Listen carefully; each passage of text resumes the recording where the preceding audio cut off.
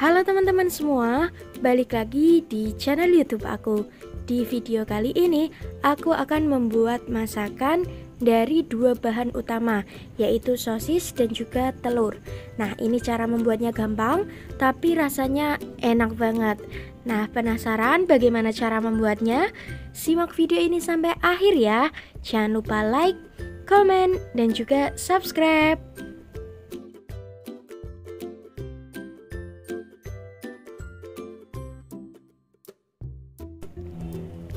Langsung saja kita ke cara membuatnya. Nah, yang pertama kita panaskan minyak. Kemudian kita masukkan telur yang sudah kita kocok lepas sebelumnya. Kemudian ini telurnya kita orak-arik ya, teman-teman. Nah, ini saya ngorak-ngariknya kelamaan, jadi telurnya udah matang seperti ini, tapi nggak apa-apa. Nah, kalau udah jadi seperti ini, kemudian kita masukin sosis yang sudah kita potong-potong.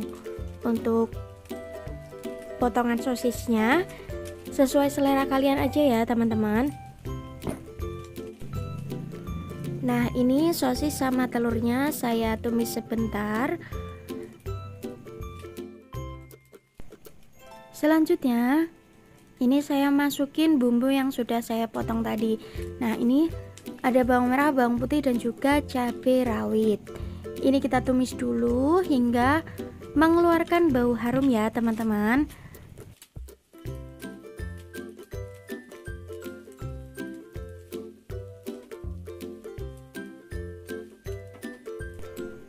Nah selanjutnya kita masukin bawang bombay dan juga cabai merah keritingnya.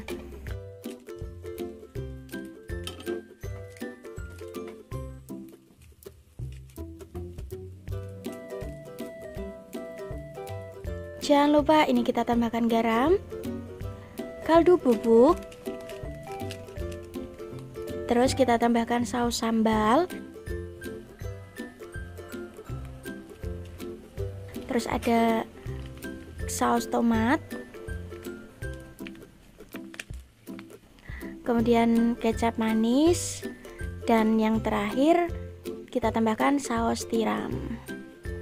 Nah untuk takaran bumbunya nanti saya tulis di akhir video ya teman-teman. Nah ini kita aduk. Kita aduk hingga tercampur merata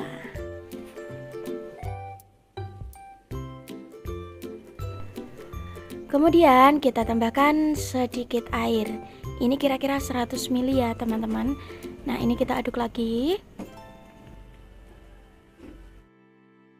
Ini saya tambahkan 1 sendok teh gula pasir. Ini kita masak lagi hingga bumbunya meresap ke dalam sosis dan juga telurnya ya, teman-teman. Kemudian kalau bumbunya udah meresap ini jangan lupa kita cobain ya teman-teman. Nah nanti kurang apa bisa kalian tambah sesuai dengan selera kalian. Kemudian jika rasanya udah pas ini kita masukkan daun bawang yang sudah kita potong-potong. Nah ini kita aduk hingga daun bawangnya sedikit layu Nah, jika rasanya udah pas, ini tinggal kita matikan api dan tinggal disajikan di piring. Nah, ini dia sosis telur asam manisnya udah jadi. Ini tinggal kita sajiin di piring. Ini rasanya enak banget. Cara membuatnya juga gampang banget kan? Nah, buat kalian wajib banget cobain resep ini di rumah. Terima kasih buat yang udah nonton dari awal sampai akhir. Jangan lupa like, komen, dan juga subscribe. Tekan tombol loncengnya agar kalian tidak ketinggalan video terbaru dari channel kami. Terima kasih.